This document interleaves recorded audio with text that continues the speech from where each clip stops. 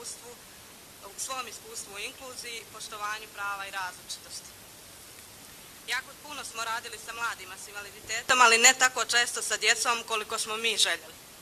Uglavnom smo radili volonterske aktivnosti u vrtićima i školama. I moram da vam kažem nešto.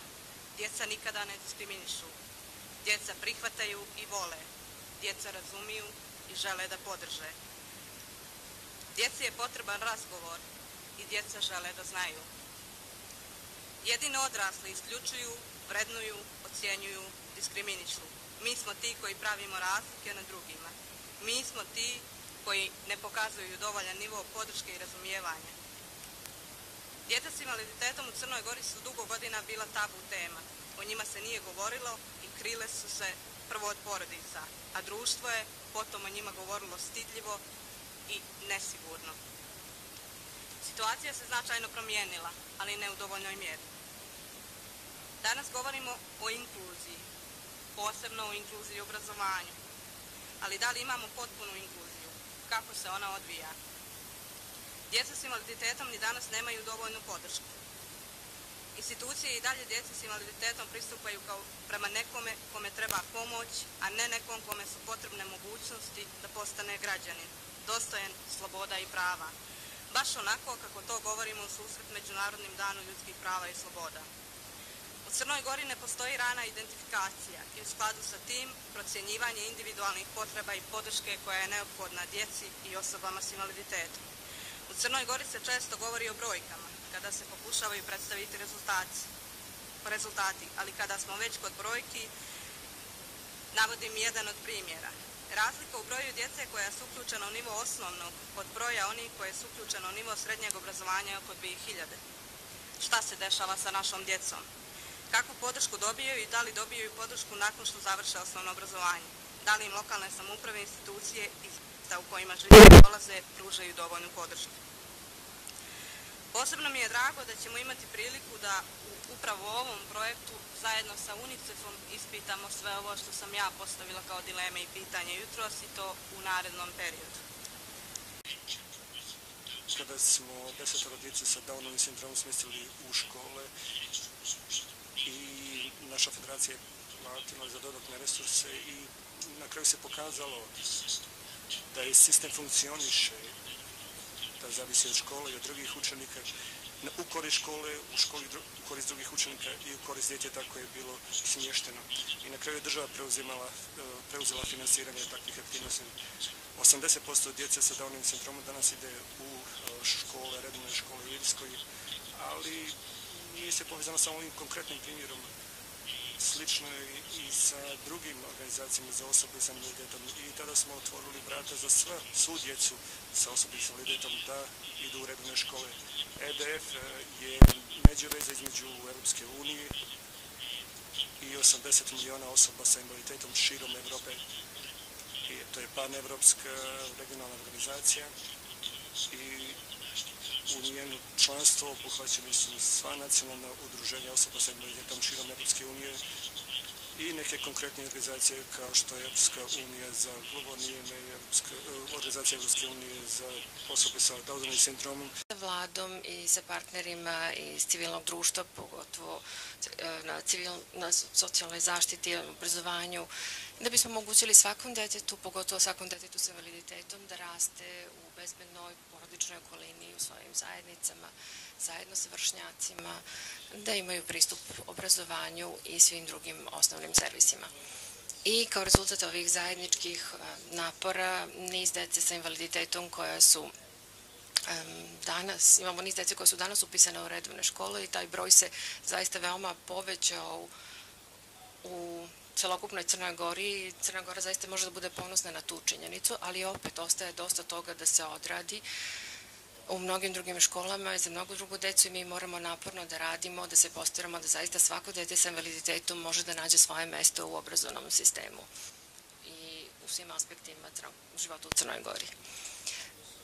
Takođe, možemo da kažemo da ćemo uskoro biti u situaciji kada ćemo u većini, odnosno bar u polovini opština u Crnoj Gori imati sve dostupne servise i hteo bih da posjetim neke a, opštine, čak i one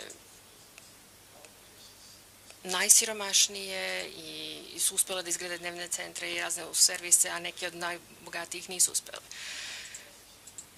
I također imamo još jedan bojasan,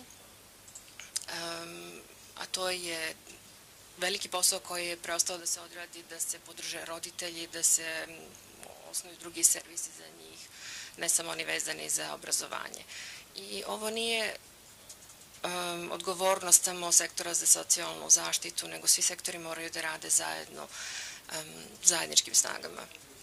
S jedne strane imamo potrebu da izradi, izgradimo jak sistem, da sprovedemo reforme, da promovišemo prava dece sa invaliditetom, da nađemo sisteme za detekciju, za ranu intervenciju, da radimo na inkluzivnom obrazovanju, uključujući obezbeđivanje održivog sistema finansiranja.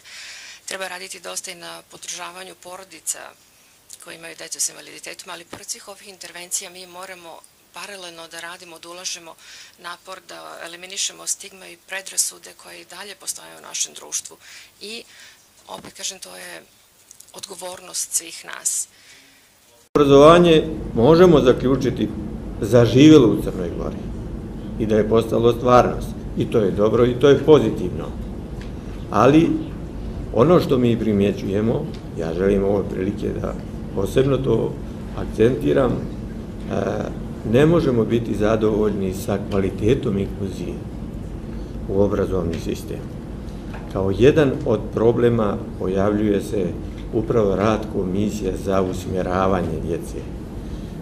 Komisije se formiraju na opštinskom nivou, na lokalnom nivou i sve komisije nisu jednako ažurne. Imamo zaista tako neprihvatljivi situacija da pojedine komisije kasnije sa donošenjem rješenja u usmjeravanju, pa se dešava da dječe započne školsku godinu i ide u redovni obrazivni sistem, iako se radi o djetetu sa posebnim obrazovnim potrebama, koje je, čiji su roditelji u ime njega zatražili da komisija donese individualni program za usmjeravanje i dijete za taj period dešava se jedan, dva, pa čak i tri mjeseca boravi u školama i tu je sada problem u prvom redu za nastavnika, za njegove drugove i drugarice, nastavnik ne zna po kojem individualnom programu će raditi na vaspitanju i obrazovanju ovog djeteta, čekajući usmjerenje, odnosno rešenje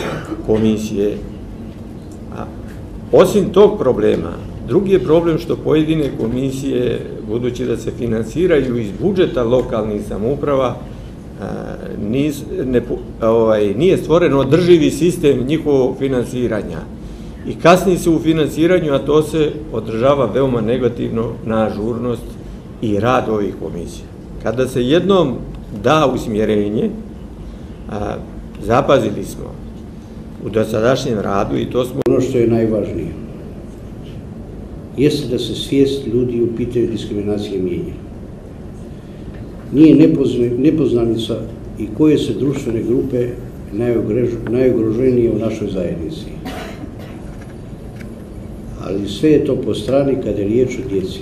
Djeca su naša budućnost, a temelj budućnosti gradimo svi zajedno sada. Tokom prošlog vijeka formirano, formalno se formiralo se uvjerenje da dječja prava treba da budu priznata i zaštićena na poseban način i posebnim međunarodnim dokumentima. Tako smo dobili konvenciju, konvenciju o pravima djeteta. Ona garantuje mogućnost djeci da iskažu svoje potrebe i da učestvuju svim aktivnostima koje su važne za njih. Pored unapređenja zakonodavnog okvira koji štiti prava lica sa invaliditetom, prestoji nam još mnogo posla u ovoj oblasti. U oblasti koju pokriva ovaj resor prava djece sa invaliditetom zaštićene su krovni zakon o zabrani diskriminacije. Detaljnije ovim izmjenama i dopunama kojima predlaža kojima podliježe ove godine u pravcu sve boljeg usklađivanja sa međunarodnim standardima, te novom zakonu o zabrani diskriminacije lica sa invaliditetom koji je usklađen sa konvencijom UN o pravima djeteta. Ipak ono što je najprirodnije jeste obezbijediti djeci kvalitetniji sadržaj života. saglasili smo se toliko puta u vezi sa potrebama primjena zakona, aktivnijeg učešća svih aktera iz ove oblasti, prepoznali smo sve potrebe i ono što, što nam ne ide u prilog jeste vrijeme. Lica sa invaliditetom su ogromne snage da se nosi sa ovim preprekama. Imaju veliko strpljenje i vjeruju nas koji smo su nosioci unapređenja društvenog sistema.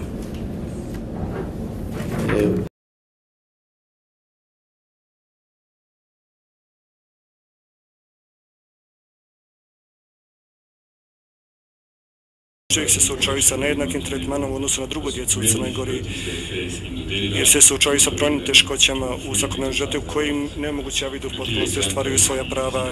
Jasan primjer je fizički pristup javnim objektima, a posebno univerzitetu i fakultetima nepristupačnost univerziteta i fakulteta je prepreka za slobodu izbora i obrazovanja u izvještaju komisije za Crnu Goru za 2016. godine Evropska komisija s jedne strane pozdravila napredak kada je u pitanju poštovanje prava osoba sa invaliditetom kao i određeni napredak kada je u pitanju pristupačnosti javnih objekata za ljude i osobe sa ograničenom mobilnošću, ali sa druge strane nema jasne vizije kako da se prilagode javne objekte škole, bolnice, privatna preduzeća i njihovi objekti nema vizije kako da se ti objekti prilagode i da još uvijek nedostaju mehanizmi i odnosno sredstva koji su potrebni ovoj populaciji.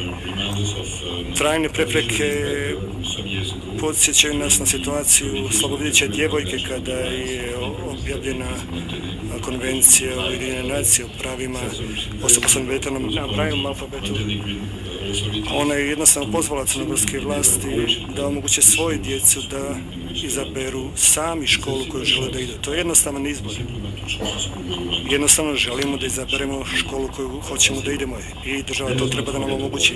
Da ne zaboravimo njenu želju koju je tada izrazila i želje svih i sve djece sa i sa invaliditetom i na taj način da uklonimo sve barijerima inicijativa kao što je ova su od ključnog značaja. Naša je dužnost da promovišemo poštovanje ljudskog prava i veću djelotvornost i inkluzivnost javnih usluga za ugrožene grupe djece sa invaliditetom, angažovanjem civilnog društva i promovisanje saradnje na regionalnom nivou, unapriđeno i poboljšano učešće civilnih organizacija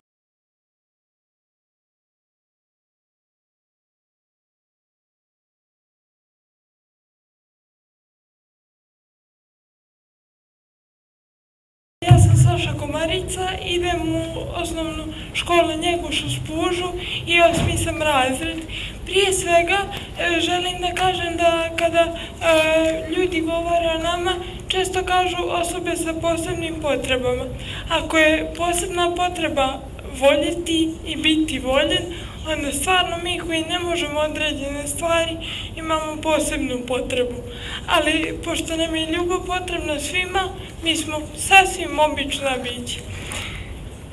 Također e, želim da kažem da kada govorimo o osobama sa invaliditetom, zaista govorimo o posebnim osobama. Ne posebnim po potrebama, već posebnim po onome što nose u sebi. Za sebe mogu da kažem da sam dobro prihvaćena u društvu.